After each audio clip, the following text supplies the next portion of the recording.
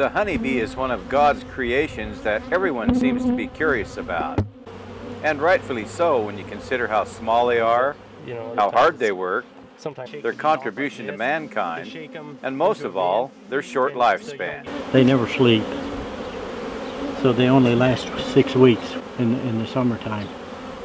My dad does bees, I do bees. My kids will probably do bees, I'm sure. Jonathan Steele of Silverline Bees comes from a family of bee farmers. Today he's making more room in a community of hives for thousands of female worker bees busy making honey. Basically what we're doing is knocking these down a little bit so they don't swarm. Because the bees have a tendency to swarm this time of year. Swarm, take some of your honey away and take you know, a bunch of your bees away.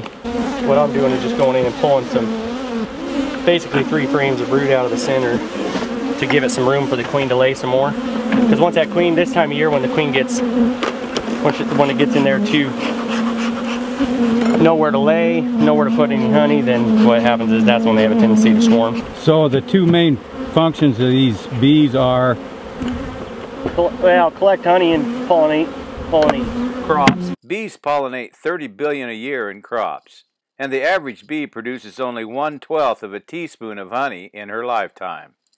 Steele says 100,000 bees in a box can fill it with honey in two days. Honey harvest usually takes place from June to August. Beekeepers will use smoke to calm the bees while working them. If they buzz you, never swat at them, they say. the scientists were But if they uh, get in your helmet, notes in the bottom game on. hive and then, oh, I'm getting stung. Don't swat. God. I lost. For the voice of Idaho Agriculture, I'm Steve Ritter.